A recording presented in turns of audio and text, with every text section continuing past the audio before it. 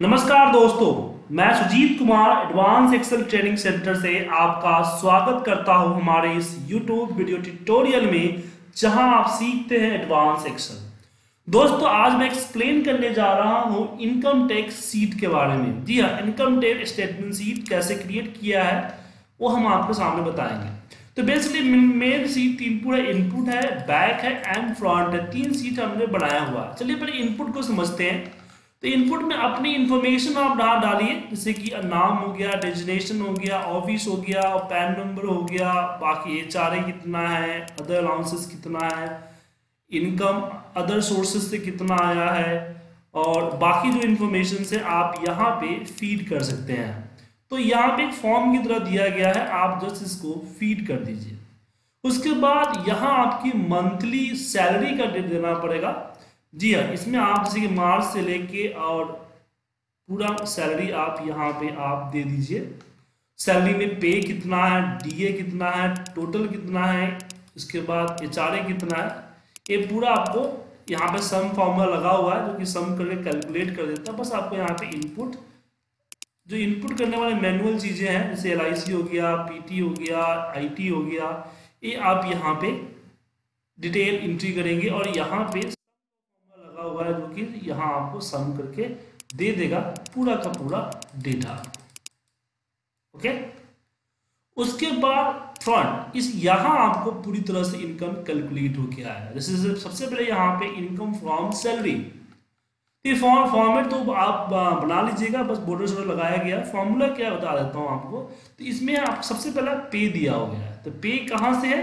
तो बैग के बी चार सौ बी से बी बाईस से है। तो बैक में अगर बी ट्वेंटी टू पे आते हैं, जो कि आपका सबका सम है तो ये जो चीज़ें दी गई है, वो पूरी चीज़ें हमने यहाँ पे लिंक कर दिया हुआ है। लिंक दस आप इक्वल प्रेस और आप लिंक कर दीजिए। इक्वल प्रेस कीजिए और आप लिंक कर दीजिए।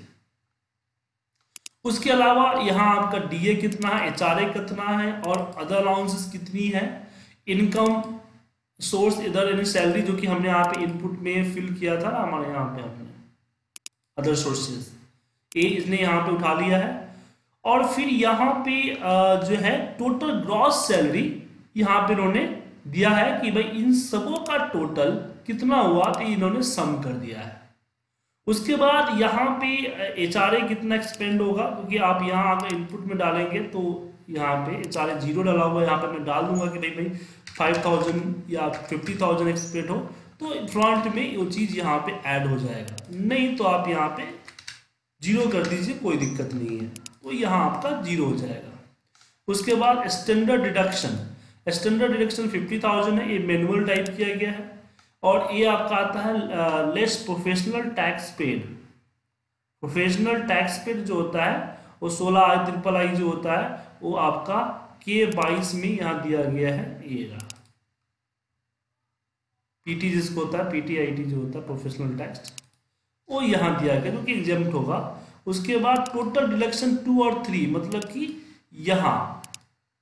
इसको और ये टू प्लस थ्री मतलब कि दोनों का डिडक्शन जो है अभी ज़ीरो है, इसलिए टू प्लस थ्री लिखा हुआ है। यहाँ डिडक्शन कितना है? तो fifty two thousand income from salary head यहाँ पे पचहत्तर हज़ार में से बावन हज़ार को सॉरी सात लाख पचास हज़ार में से बावन हज़ार पाँच सौ को लैस कर दिया।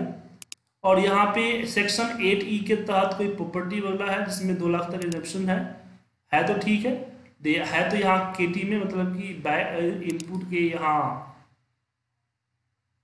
आप डाल सकते हैं। उसके अलावा उसके बाद यहाँ पे ग्रॉस इनकम हमारा ए हुआ है। ग्रॉस इनकम ये हुआ। अब इसके अलावा जो टैक्स में है, जैसे कि आपका G P F G P F है, या आपकी एल आई सी है, या इंश्योरेंस वगैरह है एन एस सी है सी डी है, और जो भी आपका टैक्स सेविंग प्लान आपने ले रखा है, उसकी डिटेल्स आप यहाँ पे फिल कर दें। उसके बाद आता है नेट इनकम। ये सब रिडक्शन होने के बाद आपका नेट इनकम इतना है। उसके बाद जो सेक्शन सेक्शन एट्टी के तहत जो भी आपकी चीज़ें हैं, उसको माइनस करने के लिए यहाँ दिया गया। छोटे छोटे अमाउंट हमने दिए हुए हैं ये सारे इनपुट्स में हमने यहाँ पे इनपुट किए हुए हैं। सो यहाँ फ्रंट में डिलीट कर रहा है। अब टैक्सेबल इनकम यहाँ निकल के आ गया। अब क्या है कि इनकम का स्लैब है। तो इनकम का स्लैब है जो कि पच्चीस हज़ार तक ज़ीरो है तो यहाँ पे ज़ीरो दिया गया है। उसके बाद ढाई लाख से पे पाँच परसेंट है। तो इसने इफ़ यहाँ पे हमने इफ़ फॉर्मूला लगाया कि इफ़ अगर पी थर्टी फाइव मतलब कि ये जो है thirty five less than five lakh है तो बारह हज़ार पाँच सौ दे अदरवाइज़ अगर बी थ्री ग्रेटर देन एक है तो ज़ीरो दे। मतलब कि अगर इस स्लैब के अंदर में है, पाँच हज़ार से, दो हज़ार, पच्चीस हज़ार से पाँच हज़ार के स्लैब में है तो यहाँ पे साढ़े बारह हज़ार पाँच सौ फिक्स कर दिया है और सेम यहाँ भी इन्होंने यही किया है कि जी अगर G thirty one greater than one है मतलब कि ए इसके जी थर्टी एट यहाँ पे जो है, हम ये किया गया है। तो यहाँ भी हम जो है, यहाँ पे स्लैब इंसेंटिव के लिए इफ़ फॉर्मूला का इस्तेमाल किया गया है। और यहाँ पे टैक्स लगाया कि बत्तीस हज़ार छः सौ छियानवे रुपीज़ का टैक्स दिया जाता है। और उसके अलावा और भी डिडक्शन के बारे में राउंड वगैरह किया गया है और आपके सामने टोटल रिफंडेबल पेड तेईस हज़ार।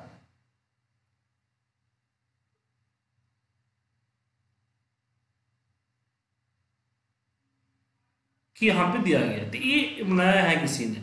तो बेसिकली ये सैलरी स्लैब मैंने किसी और ने बनाया हुआ है। बट अच्छा बनाया हुआ है। इसमें हम कुछ और भी एडिशन कर सकते हैं। जैसे कि कैलकुलेशन है। यहाँ पे हम कैलकुलेशन को ऑटो कर सकते हैं। बट यहाँ पे क्या है कि one by one sequentially calculate है। हम इसको डायरेक्ट भी कर सकते हैं। तो मैं जब इसको बनाऊँगा तो अपने हिसाब से कनेक्ट कर दूँगा। लेकिन ये किसी और का बनाया हुआ है, जो कि मैंने आपको एक्सप्लेन किया है। इस तरह की चीज़ें भी आप बना सकते हैं। आप बनाना शुरू कीजिए, कोई डाउट या क्वेश्चन होगा तो मुझे कॉल कीजिएगा, हम आपको ज़रूर एक्सप्लेन करेंगे। और हमारी क्लासेस ऑनलाइन होती है live interactive one to one जो कि ज्वाइन कर सकते हैं। मेरी website I P T India पे जाएँ एंड क्लासेस का फॉर्म भर दें।